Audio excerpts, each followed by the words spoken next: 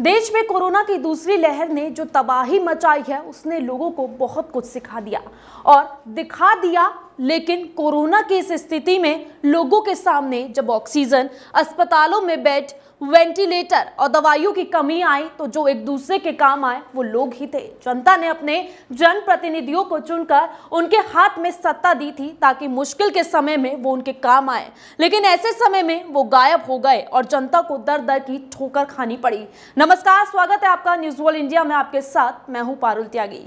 Corona की दूसरी लहर आई तो लॉकडाउन कर्फ्यू जैसे नियम बना दिए गए, ताकि ज़्यादा लोग बाहर ना निकले और संक्रमण ना फैले। लेकिन सरकार की तरफ़ से जनता के लिए बनाए गए नियम शायद सांसद और विधायक ने अपने लिए ही समझ लिए, और इसीलिए जनता की मदद करने के समय पर सांसद और विधायकों ने अपने अपने क्षेत्र में जाकर एक बार देखा भी नहीं कि उनके क्षेत्र की जनता किस हाल में है। क्या लोगों को अस्पताल, ऑक्सीजन, दवाइयाँ मिल तो रही हैं? आज इस रिपोर्ट में हम आपको बताएँगे कि किस क्षेत्र के सांसद ने अपने क्षेत्र में कब कब दौरा किया कोरोना के इस समय में जनता के लिए कैसे काम किया?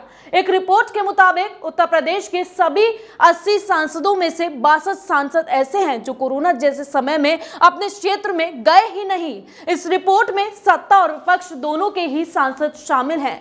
जिन सांसदों का घर उनके क्षेत्र में है, वो भी इस दौरान काफ़ी कम निकले।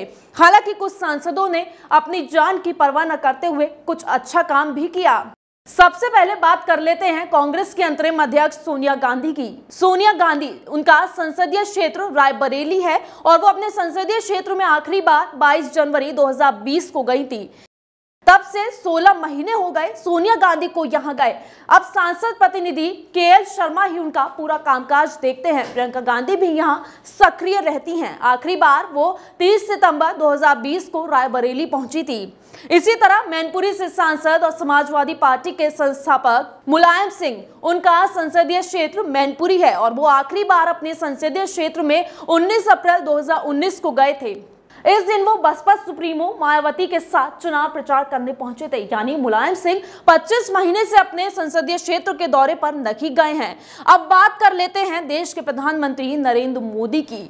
प्रधानमंत्री नरेंद्र मोदी का संसदीय क्षेत्र वाराणसी है और वो आखिरी बार 30 नवंबर 2020 को अपने संसदीय क्षेत्र पहुँचे थे। छह महीने पहले ही पीएम मोदी ने अपने क्षेत्र का दौरा किया था। हालाँकि इस बीच उन्होंने सात बार वीडियो कॉन्फ्रेंसिंग के ज़रिए वाराणसी के अफसरों, डॉक्टर्स, कोरोना वॉरियर्स, स्टूडेंट्स और आम लोगों से बातचीत की है। पीएम मोदी का संसदीय कामकाज रिटायर आई अफसर और एमएलए ए के शर्मा संभाल रहे हैं। अब बात जरा हेमा मालिनी की कर लेते हैं। हेमा मालिनी का संसदीय क्षेत्र मथुरा है और वो आखिरी बार अपने संसदीय क्षेत्र 25 मार्च को गई थी। कोरोना के समय में हेमा मालिनी अपने क्षेत्र में बहुत कम गई थी। 25 मार्च को भी वो मुरारी बापू की प्रवचन कथा में पहुँची थी। 28 मार्च तक मथुरा में ही रही। इसके बाद से वो मथुरा से गायब है। मई के पहले हफ़्ते में उनके गायब होने का पोस्टर सोशल मीडिया पर वायरल होने लगा। इसके बाद अठारह मई को उन्होंने मुंबई से एक वीडियो जारी किया, जिसमें उन्होंने सबके साथ किसानों को वैक्सीनेशन और लॉकडाउन का पालन कराने की सलाह दी। राधे राधे।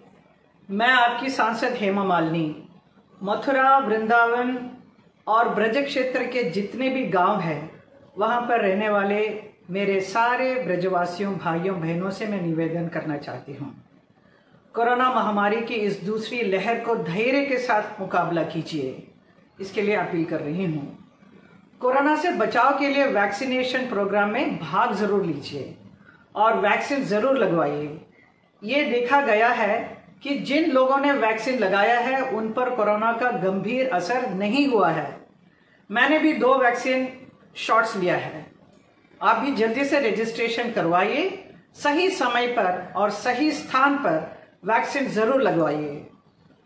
मैं खास तौर पर हमारे किसान भाइयों से, जो दिन रात खेती में, धूप में मेहनत करते हैं, उनसे भी अपील कर रही हूँ कि आप वैक्सीन ज़रूर लगवाइए। अगर इस महामारी से बचाव चाहिए तो वैक्सीन ज़रूर लगवाना पड़ेगा। वैक्सीन लगाओगे तो आप अपने आप को बचाओगे, परिवार और देश को भी बचाओगे। कोरोना को हराना है, वैक्सीन ज़रूर लगाना है। अब बात रवि किशन की कर लेते हैं, जिनका संसदीय क्षेत्र गोरखपुर है, और वो आखिरी बार 14 मई को अपने संसदीय क्षेत्र पहुँचे थे। हालाँकि रवि किशन ने तो अपने क्षेत्र का दौरा किया और इतना ही नहीं, सांसद निधि से मिले 40 लाख रुपए भी अपने क्षेत्र के लिए दिए और कोविड मरीजों के लिए हेल्पलाइन भी शुरू कराई। मेनका गांधी मेनका गांधी का संसदीय क्षेत्र सुल्तानपुर है। आखिरी बार मेनका गांधी सुल्तानपुर 12 अप्रैल 2021 को गई थी। मेनका गांधी ने अपने क्षेत्र में ऑक्सीजन प्लांट भी लगवाए और कोविड अस्पताल भी शुरू कराए। चलिए अब जरा आपको ये भी बता देते हैं कि बीजेपी और विपक्ष के यूपी में कितने सांसदों को कोरोना हुआ था। कोरोना काल में सबसे ज़्यादा बीजेपी के 16 सांसद संक्रमित हुए। इनमें से कुछ ठीक होकर वापस अपने क्षेत्र में लोगों के बीच पहुँचे, जबकि कुछ कोरोना के डर से घर से नहीं निकले। ऐसे सांसद अपने प्रतिनिधि से फ़ोन कॉल के ज़रिए क्षेत्र का हालचाल जान लेते हैं। बरेली, जौनपुर, अंबेडकर नगर, गोंडा, सुल्तानपुर, झांसी, बलिया, कौशाम्बी, बाराबंकी डुमरियागंज, देवरिया, आजमगढ़, मुरादाबाद, कानपुर, बदायूं, मुजफ्फरनगर के सांसद कोरोना संक्रमित हो चुके थे। यहाँ बीजेपी के ही सभी सांसद हैं। इसके अलावा समाजवादी पार्टी के अध्यक्ष अखिलेश यादव, मुरादाबाद के समाजवादी पार्टी के सांसद एस टी हसन, बिजनौर के बसपा सांसद भी संक्रमित हो चुके हैं। लेकिन पाँच क्षेत्र ऐसे हैं जहाँ सांसदों के गायब होने तक के पोस्टर भी लगाए जा चुके हैं। इस लिस्ट में सबसे पहला नाम संत कबीर नगर के सांसद प्रवीण निषाद का आता है। प्रवीण निषाद वही हैं जिन्होंने 2018 के उपचुनावों में सपा के टिकट पर बीजेपी प्रत्याशी को गोरखपुर से हराया था। लेकिन 2019 आते आते वो भाजपा ही हो गए। इसके बाद उन्हें संत कबीर नगर से लोकसभा का टिकट भी दिया गया। प्रवीण निषाद जीत तो गए, लेकिन क्षेत्र से वो गायब हो गए। उनके ही लोकसभा क्षेत्र में उनके लापता होने के पोस्टर लगा दिए गए। ऐसा ही हाल कुछ हाथरस, उन्नाव, कोशाम्बी और झांसी का भी है, जबकि मायावती के दो सांसद अमरोहा से कुंवर, दानिश अली और बिजनौर से मलूक नागर भी क्षेत्र से गायब रहते हैं। इनके लापता होने के पोस्टर भी क्षेत्र में लग चुके हैं।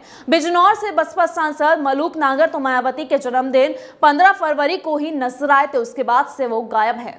ये रिपोर्ट आज इसलिए ज़रूरी थी ताकि जो सांसद ये सोचकर बैठे हैं कि अगली बार फिर चुनाव होंगे तो वोट मांगने चले जाएँगे और जनता हमें वोट दे देगी। ये रिपोर्ट उन्हीं सांसदों के लिए है और जनता के लिए भी, क्योंकि कोरोना की दूसरी लहर में जनता ने जो कुछ देखा और सहन किया, उससे उनमें बहुत गुस्सा है। ऐसे में जो सांसद अपने क्षेत्र में गए ही नहीं, उनके लिए मैं बस यही कहना चाहूँगी, जरा आप उस जनता के बारे में सोचिए जो चुनाव के समय में धूप में लंबी लंबी लाइनों में खड़ी होकर सिर्फ़ आपको वोट डालने के लिए जाती है और ये सोचती है कि आपके जीतने पर शायद आप उनके लिए कुछ अच्छा करेंगे। जरा सोचिएगा ज़रूर। नमस्कार।